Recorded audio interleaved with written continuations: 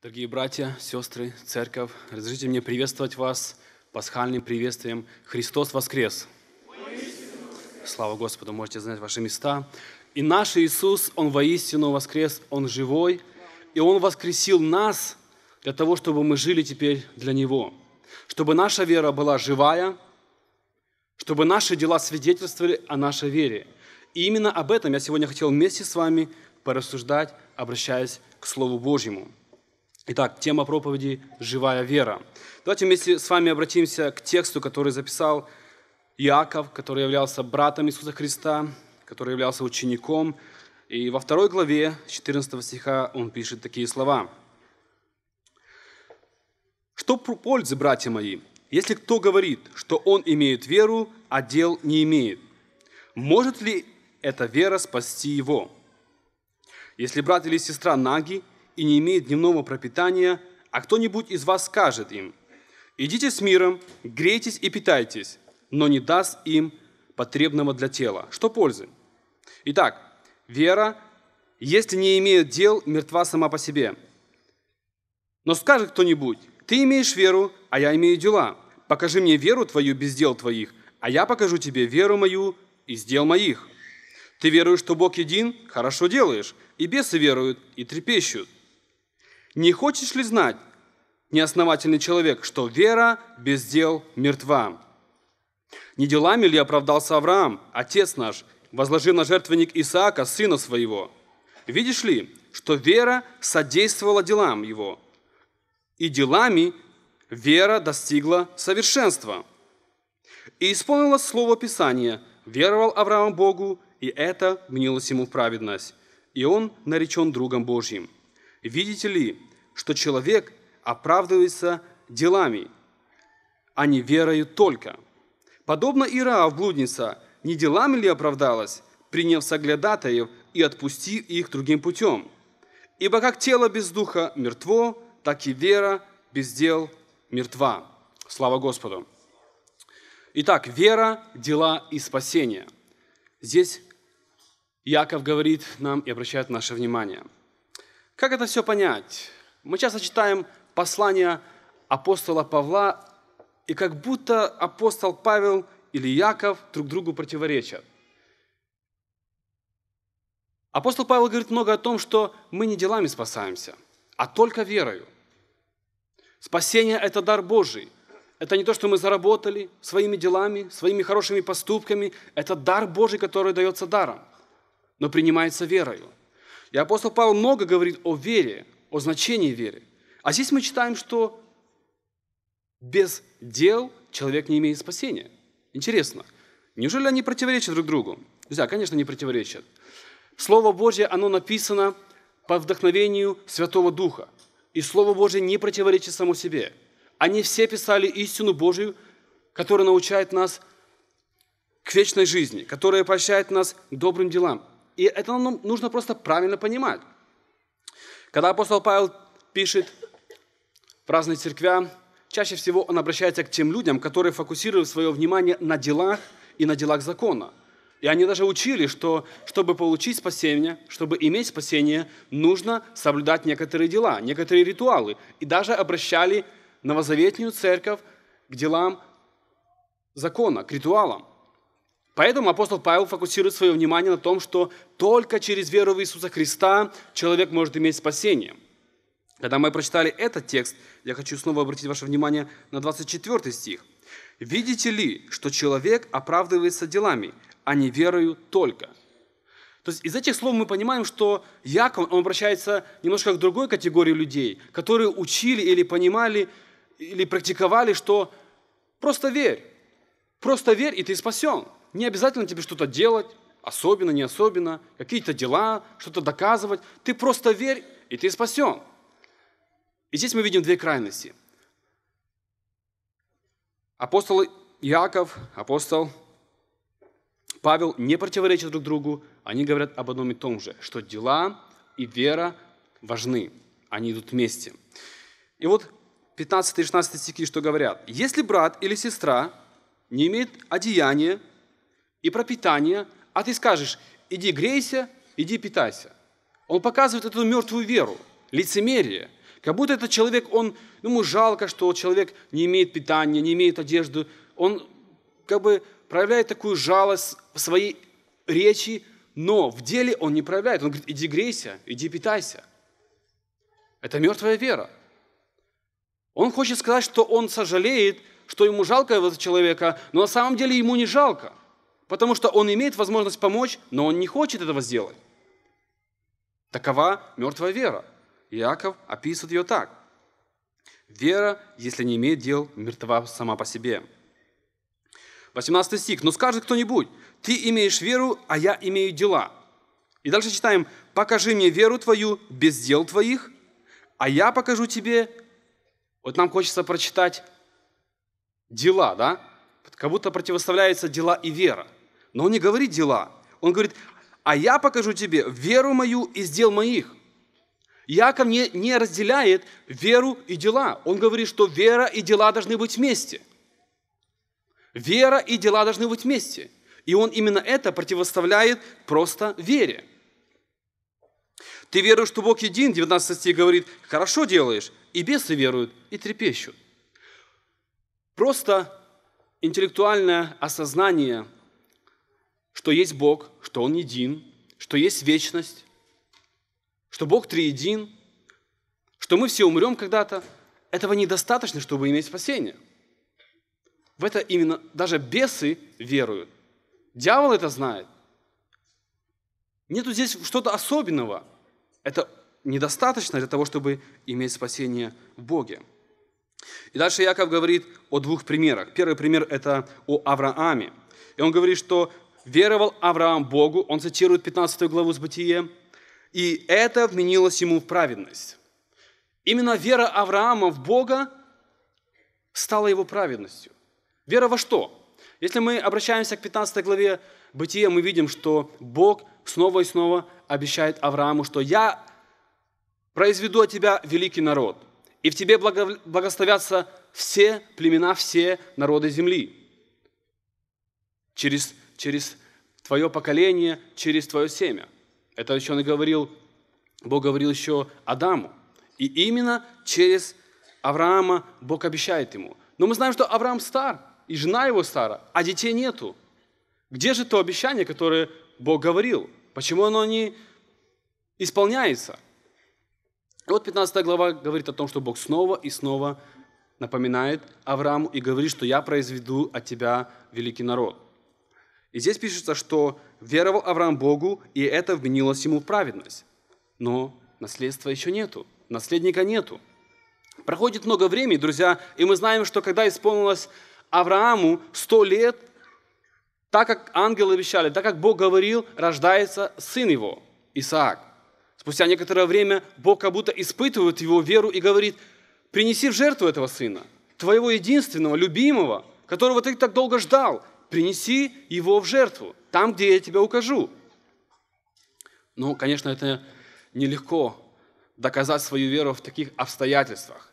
Но мы видим, что здесь, здесь, как 22 стих описывает вот этот а, процесс, что вера содействовала делам, он имел веру, и эта вера начала содействовать его делу. Он послушал Бога, он взял своих рабов, он взял своего сына, и он пошел, как Бог ему указал, чтобы там, на той горе, на той вершине, принести жертву своего сына. Но он верил, что Бог обещал произвести от него великий народ. Поэтому он знал, что Господь держит все под своим контролем. И дальше. И делами, 22 стих, вторая половина, вера достигла совершенства. Когда это он сделал, Бог реально увидел, что Авраам всем своим сердцем верит в Бога и доверяется Ему. То есть дела и вера, они идут вместе. Вера начинает побуждать человека к делам. Дела, они утверждают, они делают совершенную нашу веру. Поэтому нельзя исключать эти две вещи, вера и дела. Их невозможно исключить, они идут вместе. Второй пример, который приводит Иаков, это Раав, блудница, которая жила в городе Ерихоне. И мы знаем, что когда израильский народ исшел с Египта, и многие люди уже слышали, идет великий народ. Он побеждает народы, он захватывает города, и им было страшно. И в первой главе извиняюсь, второй, второй главе Иисуса Навина как раз об этом описывается, что Рав говорит, что я знала, мы слышали, наши сердца трепетали, что вы идете, что Бог предает народы ваши руки. И поэтому она принимает соглядатей, то есть шпионов, она принимает их, она помогает, она их прячет на крыше и потом отпускает их. Но они пообещали, что они сделают все, что, чтобы она и вся ее семья, которая окажется э, в ее доме, когда придет израильский народ, что они получат спасение. Друзья, кто, кем была Рав? С одной стороны, знаете, она была предательницей. Она была предательницей для своего народа, для своего царя, потому что она стала на сторону врагов, которые и шли на эту землю, потому что Бог предал э, эти народы, эту землю в руки евреев. Она была предательницей. Она, возможно, не сильно правильно поступила. Но Бог оправдывает ее. Библия говорит, как она, что она сделала правильно. Почему? Очень просто, друзья. Она понимала, что Бог предаст этот город в руки евреев. Бог наказывает эти народы, потому что они жили неправильно. Бог совершает свои суды. И она встает не в сторону, не просто на сторону своего народа, она встает на сторону правды и жизни, чтобы спасти себя, спасти свою семью, своих родственников. Она встает на сторону как будто врагов, евреев. И эта вера в то, что Бог на самом деле предаст их город, хотя был, мы знаем, он был очень укрепленный. Стены говорили о том, что никто не захватит этот город. Ни евреи, ни какой другой народ не смогут захватить этот город. Стены были очень высокими и толстыми. Но она верила, что Бог предаст этот город в руки евреев. И эта вера спасла ее и ее семью. Итак, 26 стих. «Ибо как тело без духа мертво, так и вера без дел мертва». Я думаю, что мы все с этим согласны, мы принимаем как Слово Божье, что вера без дел мертва. Вера живая – это вера, которая показывает дела, и дела эти, они усовершенствуют веру человека. Друзья, если говорить о делах, каких делах мы говорим вообще? Это добрые дела, и это дела послушания Слову Божьему. Дела, которые свидетельствуют, что я слушаю Бога, его заповеди, Его постановления. И Бог через своих пророков много говорил и в Ветхом Завете, и в Новом Завете мы много встречаем, когда Бог говорит о добрых делах и поощряет свой народ. Амоса 5 глава 15 стих говорит так. «Возненавидьте зло и возлюбите добро». Михея 6.8. «О человек, сказано тебе, что добро и чего требует от тебя Господь, действуя справедливо, любить дела милосердия и смиренно мудренно ходить пред Богом твоим. Итак, справедливость, смиренно мудрее и милосердие, дела милосердия. Бог всегда хотел, чтобы народ его не просто знал, что есть Бог и Иегова, не просто знал, что Бог этот вывел этот народ с Египта и спас. Нет, не только. Бог хотел, чтобы эти люди реально показывали свою веру через свои дела, делали добрые дела и слушались Господа. Через Исаию Бог говорит израильскому народу, 1 глава 17 стих, «Научитесь делать добро». Многие люди в то время еще не научились делать добро, Божий народ. И Бог напоминает, научитесь делать добро. В Новом Завете сам Иаков, это след... 4 глава в конце, он говорит так, кто разумеет делать добро и не делает, тому что? Грех. Представьте себе, мы люди, я знаю, что мы все понимаем, что нужно делать добро. И если мы понимаем это и не делаем добро, оказывается, мы грешим. Оказывается, что мы грешим.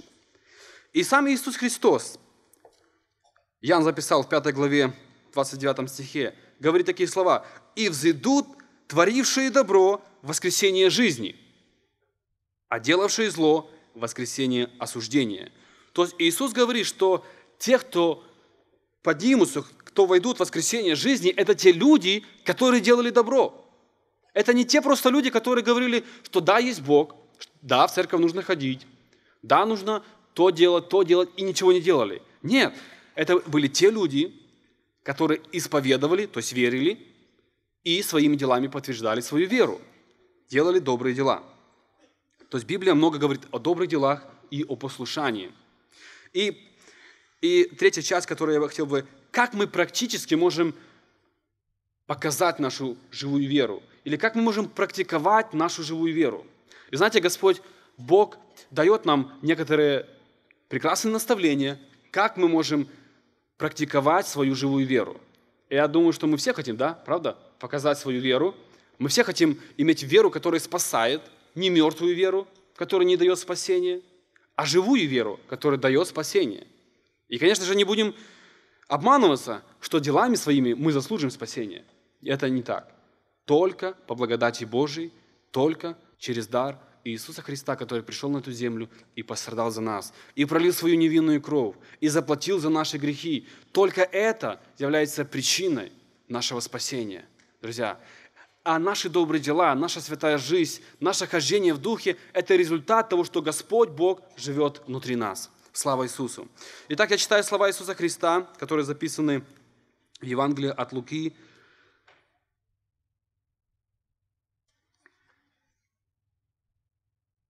Шестая глава. Прочитаю сначала 35 стих.